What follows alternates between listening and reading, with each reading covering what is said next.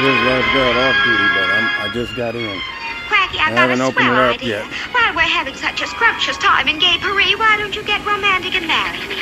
Not a bad idea, Mary. Except that I promised Inspector Faraway I'd enjoy my vacation. Oh, poor Quacky, I hate you. No time for vacation. Inspector. Faraway,